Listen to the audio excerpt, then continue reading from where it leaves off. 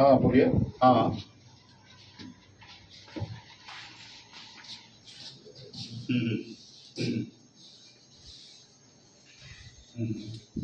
ठीक है ध्यान रखिए तो गरीब लोग हैं थोड़े बेचारे लोग गरीब है ठीक है कोई सहारा नहीं है। तो आप देख लीजिए अगर कोई दिक्कत होगा तो हम लोग पटना रेफर करके वहाँ पे पी एम सी एच वगैरह सब भेजेंगे। ठीक है? तो टाइम रहते हुए बता दीजिएगा हम लोग वहाँ भिजवा देंगे ठीक है हाँ ठीक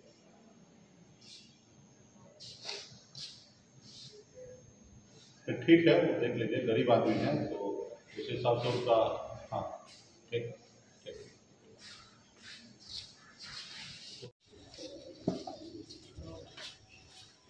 ये है ना ये तो देखिए ये सिस्टम पूरा ठीक तो है और एक बार होश आ जाता है। एंबुलेंस करके इसको पटना में बात कर लीजिएगा हमारे पटना से ऑफ़िस आदमी बात करेगा आपको ठीक है? और वो लोग अरेंज कर देगा हॉस्पिटल में, यहाँ से डिस्चार्ज करा के वहाँ पे बाकी का उपचार वहाँ होगा तो खर्चा नहीं होगा, ठीक है? तो लंबा चौड़ा खर्चा होगा ठीक है।